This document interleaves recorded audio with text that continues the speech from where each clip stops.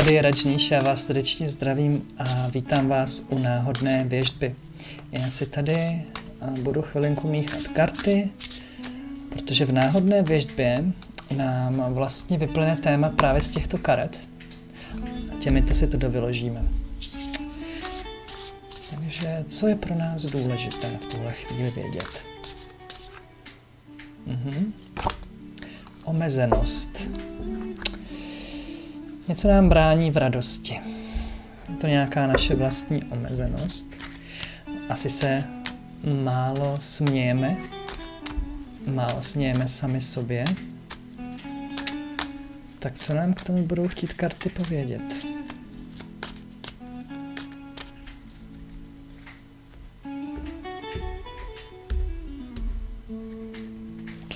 Na spodku balíčku máme dvojku mincí, kde vidíme poměrně radostného pana Rohlíčka, který, řekněme, dokáže se radovat i v momentech, kdy jeho situace není úplně OK, není úplně vyjasněná, nevidí do všeho, ale má chuť prožívat nějaké dobrodružství.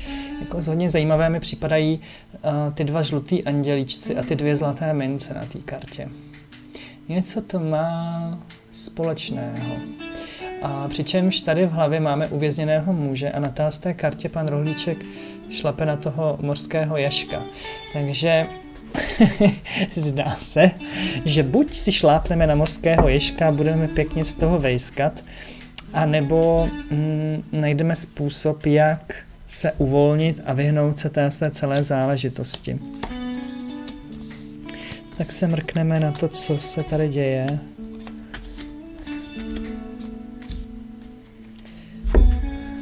Proč nám nejde se radovat. No je vidět, že by vám to dalo energii, jo? že ta radost by vám uh, přinesla energii, přinesla by vám sílu, ale vy nemáte kde brát tu radost. Jo? A zvlášť uh, je vidět, že vám úplně tu energii bere takovou tu radostnou a dětskou radost vám bere to, že mm, nejste schopni akceptovat své konce jo, v životě. Že si dokážete spíš eh, představit nějaké nové začátky, ale akceptovat to, co skončí, to je pro vás hodně těžké. Jo, a to vám bere tu radost. To vám bere taky energii do toho nového začátku, protože vy ten nový začátek chcete uskutečnit, ale toto se vám potom eh, vrací a jak? Tím, že ve svém srdci uchováváte svoje ztráty. Jo? O co všechno jste um, vlastně přišli. Než kvůli, že vlastně v tom procesu jste úplně sami, byť byste k sobě někoho chtěli, kdo by vás vyslechnul, kdo by to s váma pozdílel. A je tu velmi slabý záměr na to se z toho dostat, vymanit se z toho. Mm, tím, že nejste schopni přijmout své konce, tak vám to brání i v hojnosti. A teď mi úplně chodí po těmhle s těma kartama, že k přijetí svých konců vám může pomoct ta moje knížka, kterou jsem napsal, ta poslední noc v New Yorku. Že to je vlastně její téma, jako jak přijmout své konce v životě. Nebo um, no, jak přijmout své konce v životě. Že toto je vlastně odraz toho ducha, toho příběhu. Takže pokud chcete, aby se vám do života vrátila radost, aby tam nebyla ta omezenost, aby se tam vrátila ta čistá radost, ale řekněme na, to, na tuto pozici, do druhé čakry v uvozovkách, kde máme vnitřní rodinu, vnitřní dítě, vnitřní ženu, vnitřního muže, kteří se spolu radují. No, namísto toho, aby jsme tam měli tuto vraždící, když to tak řeknu, energii. Ta desítka mečů tady představuje vlastně takové konce ve vašem životě, které se mohly už stát deset roků zpátky a vy jste se ještě přesto nedostali. Ještě přesto uh, jste se nepřehoupli. Kdykoliv vás tam mysl zavede, tak vlastně v tom ztratíte energii. přijetí těch konců. Bez posuzování mi chodí říct. Nes, nesmím posuzovat. Sebe, druhé, osud. Já to mám vlastně přijmout jako přirozenou součást svého života. Mm, prohloubí se tam pak pokora. Hmm, vlastně mi to chodí, že je to téma pokory k životu. To, co tu není zpracované. Takže pokud se mám ještě nějakým způsobem tím prokousat, tak skrze poklonu. Pokloním se hluboce své minulosti a svým koncům.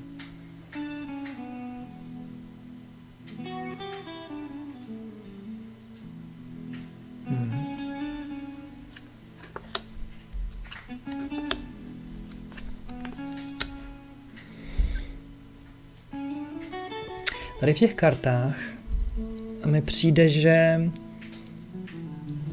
se dokážete od toho oprostit.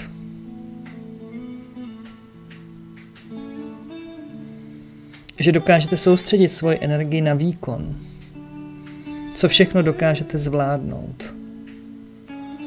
Dokážete soustředit svou pozornost na pomalý pohyb kola štěstí a jak se obrací ve váš prospěch – ale je v tom pořád ten útěk od tohodle, přičemž toto nepřinese úlevu, kterou očekáváte, protože to kolo štěstí, ať chcete nebo ne, se znovu přetočí tam, kde ho nechcete mít. Takže abyste vy zvládli to kolo štěstí, potřebujete vstoupit do jeho středu a být tím vším.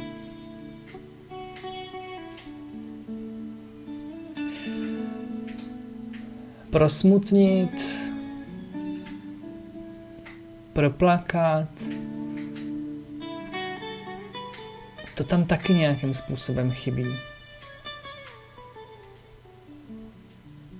Že v tom králi mečů já cítím rychlost, s jakou se chce poprat se všemi svými konci. A tam on je jako chladný, analytický a nemá tam prostor pro přiznání si svých pocitů, které to v něm vlastně vyvolalo. Ale zračí se to v jeho očích.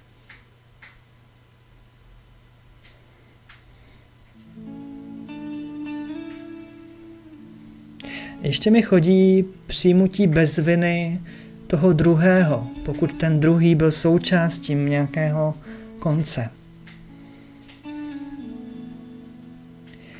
A samozřejmě je tu ještě cítit lék zapomenutí. Potřebuju na určité věci zapomenout. To je taky součástí toho. Ne potlačit, ne vytěsnit, ale jako lék, proto abych se mohl začít vlastně uzdravovat, je přijmout to, prosmutnit to a pak zapomenout zapomenout zdroj toho utrpení. Ne proto, že ho chci popřít, ale proto, abych na něm dál nebudoval svůj vztek, svůj hněv, abych se z toho vymanil. Potřebuju zapomenout křivdy, trápení, bolesti, ublížení, všechno, co se tam stalo, a co jste vnímali jako ztrátu tak velkou, že jste, že jste se z toho málem nespamatovali. Takhle vyjevily karty pro dnešní den. Musím říct, že jsem nečekal, kam nás to vezme. No a já se těším příště. Držte se.